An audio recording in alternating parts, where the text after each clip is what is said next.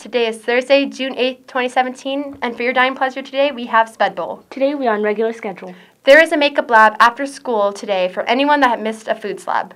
Seniors, hand in your PE locks to Mrs. Clift or Mr. Van Dalen ASAP.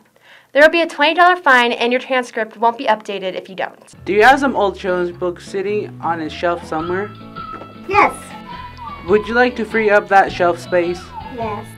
The First Generation Club is having an end of the year book drive. Between now and the end of next week, the club will be collecting books, and on the 19th, the club leaders will be taking them to migrant camps here in town and distributing them to the kids and families. If you have any books to contribute, you can send them to room 302. Thank you. Thank you.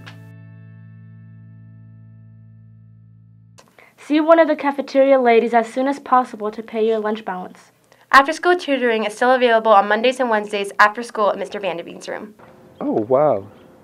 Green and black's really cute. Whoa, dude, where'd you get that yearbook?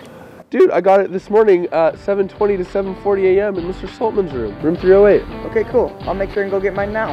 If you're, if you're a sophomore, junior, or freshman, go during lunch. Uh, also in Saltman's room.